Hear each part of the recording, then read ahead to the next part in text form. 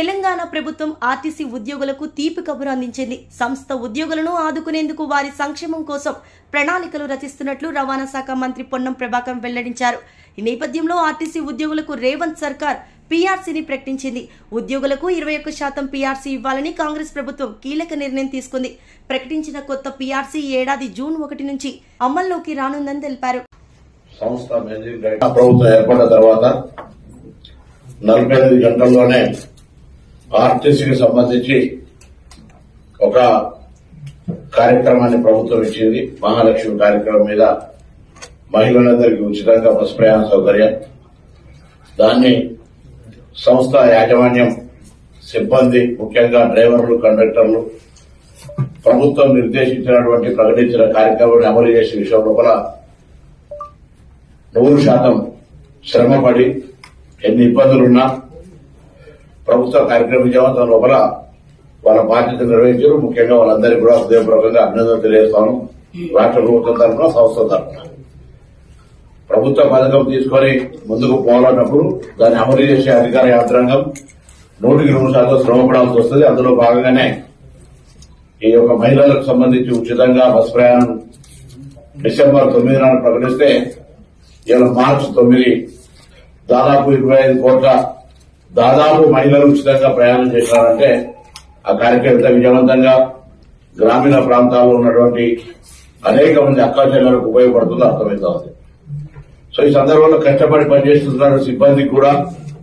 ప్రభుత్వము సంస్థ ముఖ్యంగా ఎండీ గారు గాని ప్రిన్సిపల్ సెక్రటరీ గారు గాని గౌరవ ముఖ్యమంత్రి గారు ఉప ముఖ్యమంత్రి గారు అందరూ కూడా సంస్థలో పనిచేస్తున్న వాళ్ళందరి యొక్క మంచి చెడు కూడా మనమే చూడాల్సి ఉంది అనేటువంటి ఒక ఆలోచనతోటి మరి ప్రభుత్వం తరఫున ఒక రెండు నిర్ణయాలు తీసుకోవడం జరిగింది. ఇప్పటికే ఆనాడు నెక్లెస్ రోడ్లో గౌరవ ముఖ్యమంత్రి గారు రెండు వందల ఎనభై కోట్ల బాండ్స్ పెండింగ్ బాండ్స్ అన్నింటినీ కూడా మరి ఉప ముఖ్యమంత్రి గారు ముఖ్యమంత్రి గారు ఆ రోజు రిలీజ్ చేసినారు దానికి పేమెంట్ కూడా రెండు రోజుల నుంచి ఇవ్వడం స్టార్ట్ జరుగుతుంది. పేమెంట్ సంబంధించినటువంటి ఒక యాక్టివిటీ వారు నేరుగా పోవడానికి సంబంధించిన కార్యక్రమాన్ని కూడా మళ్ళీ ఎగ్జిక్యూట్ చేసేటువంటి విధంగా తీసుకొని పోతా ఉన్నాం.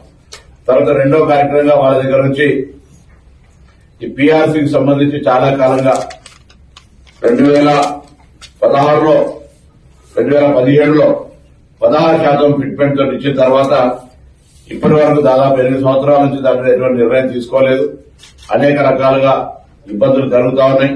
దాన్ని ఎట్లా ఓవర్కమ్ కావాలని ఆలోచించినప్పుడు మరి దానిపైన కూడా మళ్ళీ వాస్తవంగా ములిగే రకం మీద తాటిపట్టు ఆర్టీసీ సంస్థ ఇప్పటికే గతంలో జరిగినటువంటి అనేక అంశాల వల్ల కొంత ప్రావిడెంట్ ఫండ్ను వాడుకున్నటువంటి పరిస్థితి సిఎస్ను వా- కో- కోఆపరేటివ్ సెస్ను వాడుకున్నటువంటి ఇవన్నీ కూడా ఉన్నటువంటి పరిస్థితుల్లో సొంతంగా కాలేజీలో నిలబడగలిగేటువంటి పరిస్థితి రావాలని అందరం కూడా అందరూ కష్టపడే సందర్భంగా కార్మికుల భాగస్వామ్యం లేకుండా రాదని తెలిసి ఆర్థిక ఇబ్బంది పడుతున్నప్పటికీ కూడా మరి ఏ విధంగా చర్యలు తీసుకోవాలనేటువంటి ఒక చర్చ మరి గౌరవ ముఖ్యమంత్రి గారి దగ్గర కానీ ఉప ముఖ్యమంత్రి గారి దగ్గర కానీ అందరం కూడా కార్మికుల పక్షాన వాళ్ళకు సరి అయిన విధంగా ప్రొజెక్షన్ చేయడం వల్ల ఈ యొక్క పిఆర్సీకి సంబంధించినటువంటి ఏ రెండు వేల పదిహేడులో పదహారు శాతం జీరో దాన్ని యొక్క ఆర్థిక భారాన్ని ప్రభుత్వం భరిస్తా ఉంది కాబట్టి దాని విధంగా వాళ్ళతో చర్చ చేసి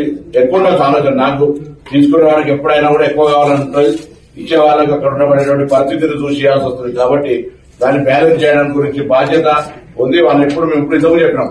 ఇంత పెద్ద కార్యక్రమాలు